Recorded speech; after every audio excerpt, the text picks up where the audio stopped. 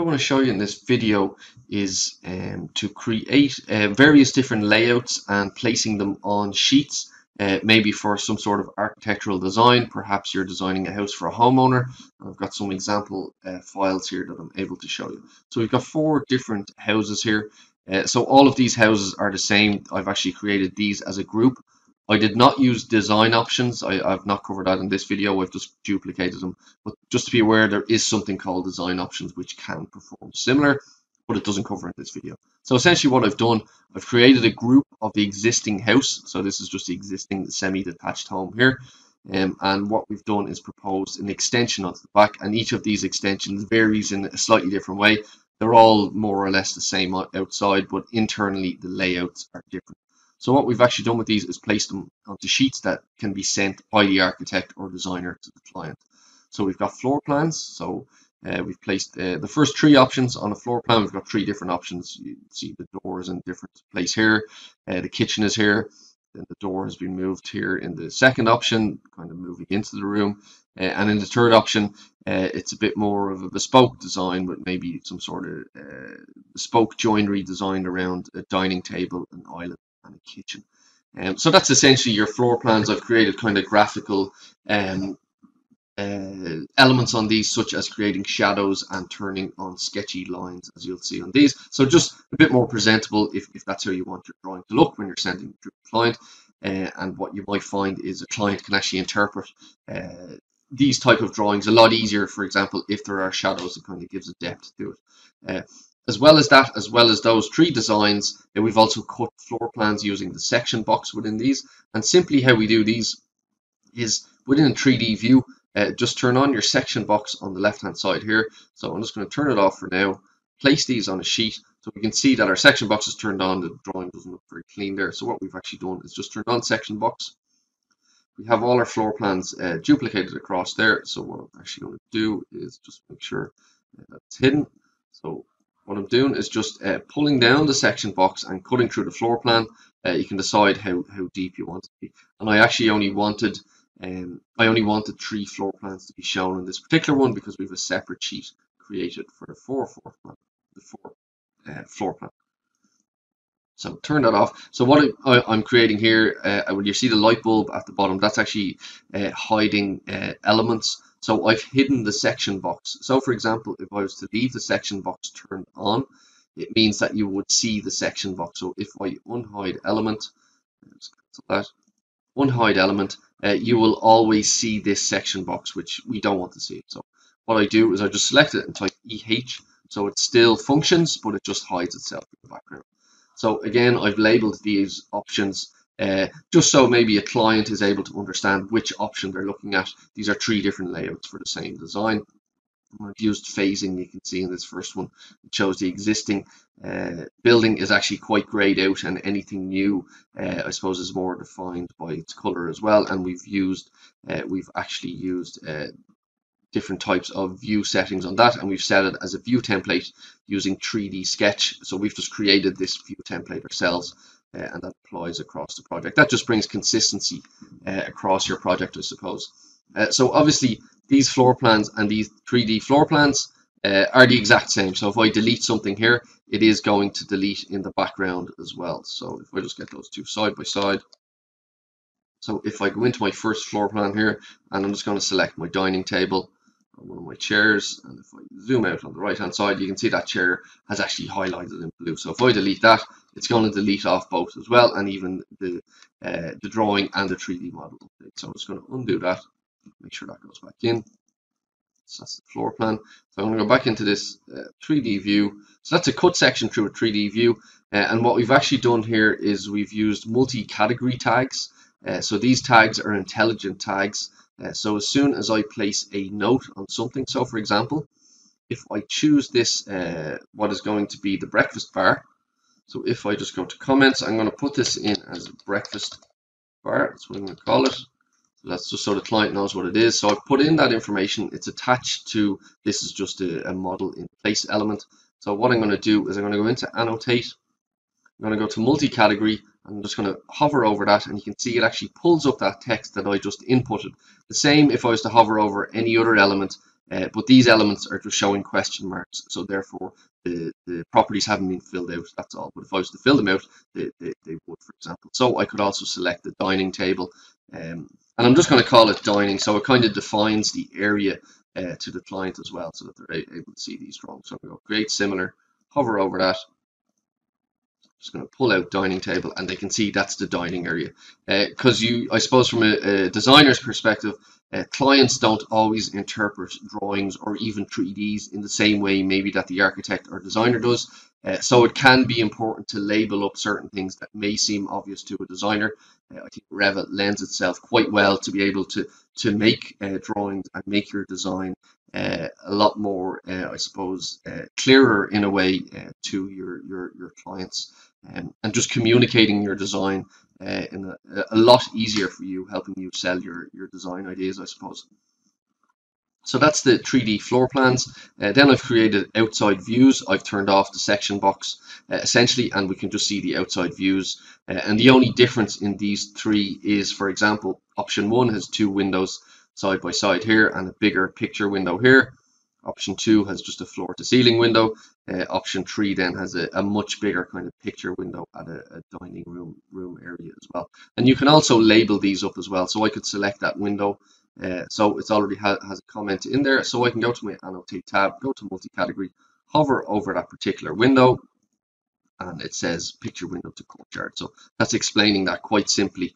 Uh, and if I was to go back into my floor plan, for example, if I was to then go into my floor plan, uh, again, double click into this uh, floor plan, multi-category tag, hover over this same window, you can see that the same note actually comes into that. So picture window to courtyard uh, in there as well. So just pull that in so it doesn't go over the side of the sheet. Uh, and you can actually you can pull that out of the way if you want. So there, that's pointing to that. So essentially the same notation uh, that you've created on one sheet, if you use a multi-category tag, uh, you can use that same notation on another sheet as well. Um, then with uh, what I've actually done here is I've just rotated the floor plan, uh, duplicated it, uh, and just rotated it uh, and just cut another section box through it here as well. so again, just giving a different view and using the multi-category tags. I have placed uh, just some photographs here that I found online. Uh, obviously, the, the, rights these photos belong to the particular architect. Um, so just to show a client maybe a reference image, you can drag that image uh, simply onto a sheet. So the way you do that is go to your Insert tab, go to Link Image, and uh, ideally you will have a folder with your images in here. You just select your image, uh, and bring it in onto the sheet and you can you can uh, resize it. And I've seen this used in design uh, firms or design practices just essentially to you know communicate the concept of maybe uh, this landscaped courtyard uh, what we want to do. With this is similar to this type of project that another architect has actually produced. So uh, it just gives you a better sense of that. Um, and then what I've done as well is just placed another maybe what might be the architect's more favored option uh, I've gone into this in a bit more detail, for example, showing what might be the fitted bench, uh, kind of showing that as an extruded element. Uh, and the way I've actually created that, and I will show you how I created that, that is actually a 3D view. So if we go down to our sheet here, that's actually two separate views. It's a 3D view uh, 1 and 3D view 3. So what I'm actually going to do, I am going to, I'm going to delete this and I'm going to show you how I created that. So what I'm going to do here is. I'm going to go back to my option tree. So double click on my option tree.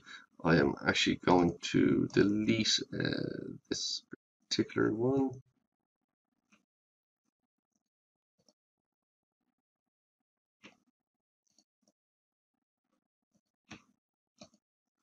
So I'm just going to select that. I'm just going to press delete on it so that's gotten rid of that particular view.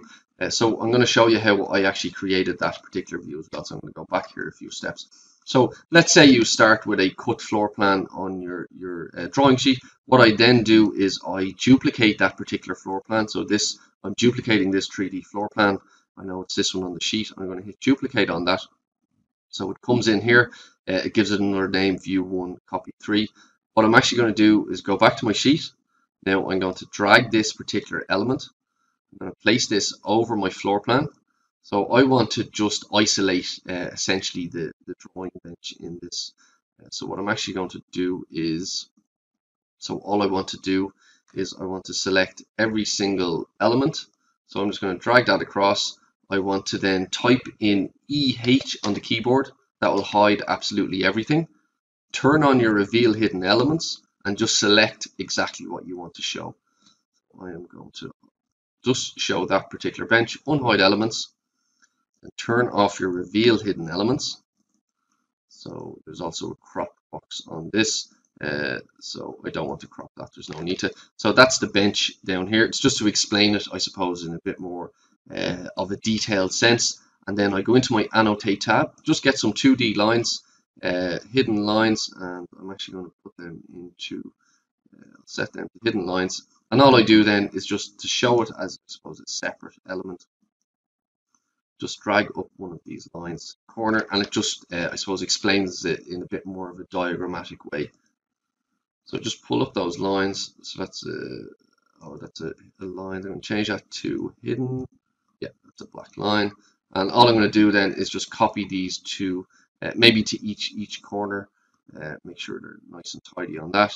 That one sits nicely on that one and then what I'm going to do is actually grab this particular one down here and just place this on this particular corner. And that should sit nicely. Yeah that tidies up nicely with the edge of that. So that just explains that to the client I suppose as it shows them as a separate piece of joinery uh, or a separate design element uh, essentially. So what I'm going to do is I think I have some notation on this I do. Uh, so I'm going to go to multi-category tag. It's going to tag this again and just explains it uh, fitted shelving storage bench for or for entertaining uh, area in their house as well. And then on the left hand side, I've taken in some other architects' photographs that I've just found online. Again, I don't own the rights to these, uh, just the, the rights are, are, are, with the, the relevant architects, uh, just to explain what this kind of bench means in terms of or the different options that they can have, such as plain, uh, plain maybe timber, uh, unpainted or unfinished timber, and maybe a dark wood seat, uh, and maybe a different type of fixed bench uh, kind of concept just to explain to them uh, and they're, they're reading this alongside the concept kind of diagram here as well. Uh, and I made sure to put some kind of green trees uh, just to show that this is a courtyard that they're actually going to be looking out onto this particular element as well. So that's option three that I've shown on that particular sheet. And then just to show you option four I've done similar except um, the architect or designer quite liked option four so they placed it uh, separately onto a sheet on its own and again showing some uh, other architects' photographs that, that they, they thought was similar in the type of style that they wanted to achieve uh, as well. So again, using multi-category tags and just different uh, 3D design elements on this as well. So how this actually works in if you go into your modeling environment, into your modeling environment. So it's three separate buildings. Uh, the existing building is modeled as a group, so that's just duplicated all the way across. Uh, if the existing building changes, then these all update, um, and then all of the designs were just modeled separately as well. So again, I will say uh, you can use design options to do something similar like this, uh, but for this particular example, I just wanted to show it as a duplicated uh, element across there as well. So that's essentially how you might uh, create conceptual design sheets for initial design uh, maybe of some sort of uh, design project, whether it's a home extension or a larger project, uh, commercial project even, uh, but just being able to place them onto sheets uh, and graphically uh, making them a bit more presentable. and then just finally, to get the consistency across all of the drawings, we have used view templates. So if I select this again, you'll see that the view template is called 3D Sketch. And 3D Sketch has a certain amount of settings against it, such as the shadows are turned on. Um, the sketchy lines are turned on as well. They're both all set to one and set to two for extension. Uh, in terms of lighting, all the lighting is set the same as well, so 30, 60 and 10, and that's across wherever this template has been used. Um, so if I go in here, for example, or if I go in here, these uh, drawings also have that template applied. So it just gives you that consistency uh, across your drawings there as well just to keep that in mind that uh, viewing templates or view templates are, are very useful for that type of consistency uh, and you can you can change them to suit your own style or your own practice standard as well. So that's essentially those um, five or six sheets that we created uh, as part of a building design uh, initial design options. Thank you very much